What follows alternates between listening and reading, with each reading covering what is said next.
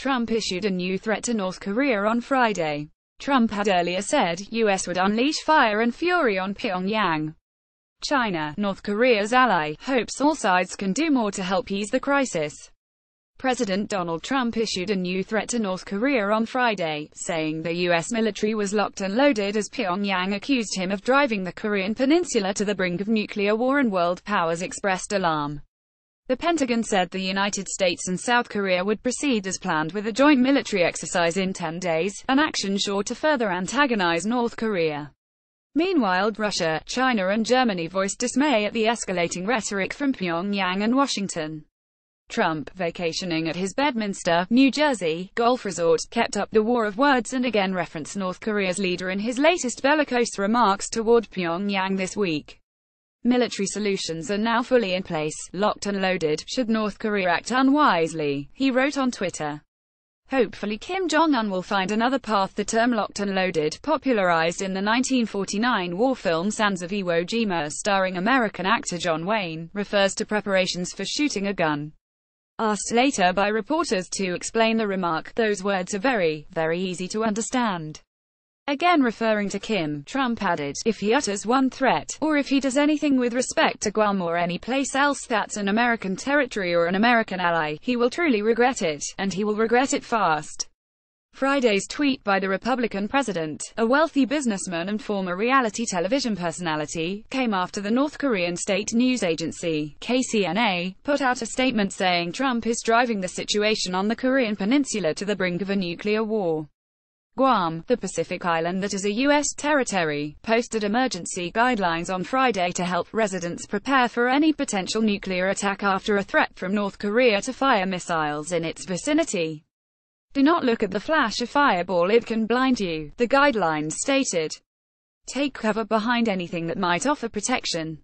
Guam is home to a strategically located U.S. air base, a Navy installation, a Coast Guard group and roughly 6,000 U.S. military personnel. KCNA said on Thursday the North Korean army would complete plans in mid-August to fire four intermediate-range missiles over Japan to land in the sea 18 to 25 miles 3,040 kilometers from Guam. The United States, which is technically still at war with North Korea after the 195,053 Korean conflict ended with only a truce, wants to stop Pyongyang from developing nuclear missiles that could hit the United States. North Korea, a reclusive nation with an underdeveloped economy and few allies, sees its nuclear arsenal as protection against the United States and its partners in Asia. Back channel Trump said he did not want to talk about diplomatic back channels with North Korea after U.S. media reports that Joseph Yun, the U.S. envoy for North Korea policy, has engaged in diplomacy for several months with Pak Song-il, a senior diplomat at Pyongyang's UN mission, on the deteriorating relations and the issue of Americans imprisoned in North Korea.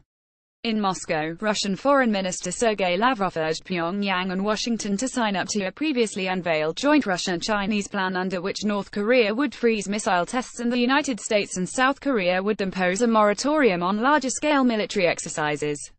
Neither the United States nor North Korea has embraced the plan. Lavrov said the risks of a military conflict over North Korea's nuclear program are very high and Moscow is deeply worried by the threats from Washington and Pyongyang. Unfortunately, the rhetoric in Washington and Pyongyang is now starting to go over the top, Lavrov said on live state television at a forum for Russian students. We still hope and believe that common sense will prevail. The annual joint US-South Korean military exercise, called Ulchi Freedom Guardian, is expected to proceed as scheduled starting on August 21, said Lieutenant Colonel Christopher Logan, a Pentagon spokesman. Trump's latest comments were a continuation of days of incendiary rhetoric, including his warning on Tuesday that the United States would unleash fire and fury on Pyongyang if it threatened the United States. Amid the heated words, South Koreans are buying more ready-to-eat meals that could be used in an emergency and the government is planning to expand nationwide civil defense drills planned for on August 23. Hundreds of thousands of troops and huge arsenals are arrayed on both sides of the tense demilitarized zone between the two Koreas. Tension in the region rose when North Korea staged two nuclear bomb tests last year and increased further when it launched two intercontinental ballistic missile tests in July in defiance of world powers. The United Nations this month tightened sanctions on Pyongyang after it tested two intercontinental ballistic missiles designed to carry nuclear warheads to the United States. The damage inflicted on world stocks this week by the tensions topped $1 trillion by Friday, as investors again took cover in the yen, the Swiss franc, gold and government bonds. U.S. financial markets took the rhetorical escalation in stride on Friday. The Dow Jones Industrial Average rose 0.06%, while the SP 500 gained 0.12% and the Nasdaq Composite was up 0.64%.